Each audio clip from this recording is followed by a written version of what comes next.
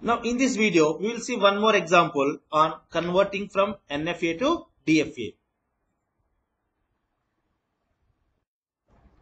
Now you will see how to convert this NFA to DFA. So first of all, what you need to write? You need to write the transition table for the given NFA diagram. How many input symbols are there? 0 and 1. What are the states? The initial state is Q0. One more state is Q1 and one more state is Q2 and this is the final state. So now you see the what are the next moves on applying 0 and 1 Q0, Q1, Q2. Are applying 0 and Q0 you are going to Q0 only. And applying 1 and Q0 you are going to Q1 only. Now again are applying on seeing 0 on Q1 you are going to Q1 and also you are going to Q2. On seeing 1 on Q1 you are going to Q1 only. Here I am writing this uh, transition table from the given diagram.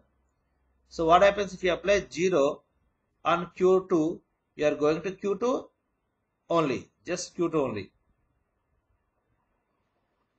What happens if you apply 1 on Q2 you are going to Q2 as well as Q1 that means Q1 Q2 so you can write in, in same order in some order Q1 Q2 so this is the way of writing the transition table for the given NFA. This is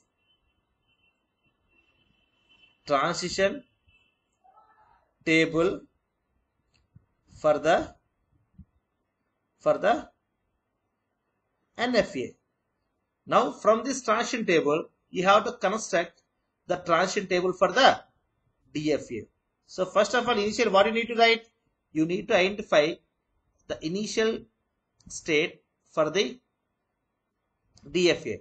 Whatever is the initial state in NFA, the same initial state will be applicable to DFA also. So this is the initial state. So just to differentiate NFA and DFA, we are representing the states with square brackets. So what are the symbols? 0 and 1. Here this is an input, this is a Q. Now you see what happens if you apply 0 and Q naught. What happens if you apply 0 and Q naught? You are going to Q naught only. Now you are going to Q naught only, same state. Now you see what happens if you apply 1 on Q naught in NFA transition table. You are going to Q1. You write the same Q1. Now, now out of these two states, which one is the new one? Q naught is already discussed. Now what the new one is? Q1. Now you write Q1 here. Now you write Q1 here. Now apply 0 on Q naught. So what happens if you apply 0 on Q1? 0 on Q1 you are going to Q1 Q2. That means you have obtained a new combined state Q1 Q2. Now you see what happens if you apply 1 on Q1. If you apply 1 on Q1 you are going to Q1 only. You are going to Q1 only. Now you see here out of these two states which one is the new one? Here this Q1 is already discussed. Now the new one is Q1 Q2. Q1, Q2 is a new combined state which we got right now.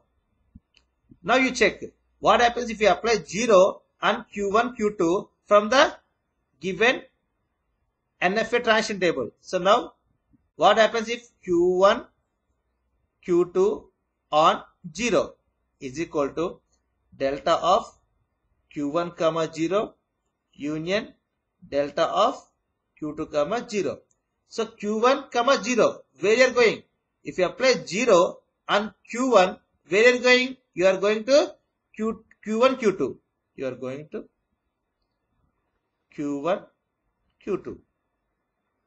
And applying 0 on Q2, where you are going? You are going to Q2. You are going to Q2. Now, after combining, this will be Q1 and Q2 only. Now, the same state, the same state. Q1, Q2. Now again you have to check for input symbol 1. Delta of Q1, Q2 on 1 equal to delta of Q1 comma 1 union delta of Q2 comma 1. Now you look at transition table of NFA. So now what happens if you apply 1 and Q1, you are going to Q1 only. You are going to Q1 only. Q1 union. What happens if you apply 1 and Q2, you are going to Q1, Q2. So now of combining, you got Q1, Q2 only. That means you got the same state Q, Q1, Q2 only. Now here you have to write Q1, Q2 only. Now you look at this row. Here Q1, Q2 is already discussed. Q1, Q2 is already discussed. There is no new state generated in this process. Now the number of states in the given DFA for the equivalent NFA is Q0, Q1 and Q0, Q1. So these are the three states uh, which are generated for the equivalent uh, DFA from the given NFA. So this is the transition table for the NFA.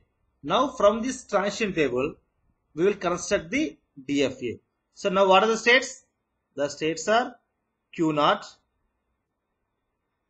and second one is Q1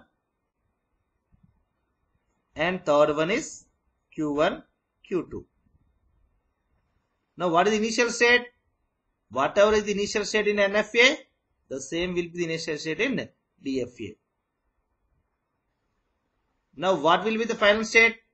Here in NFA Q2 is the final state.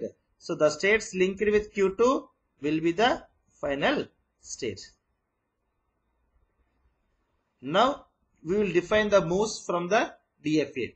So what happens if you apply 0 on Q0, you are going to Q0 only. You are going to Q0 only.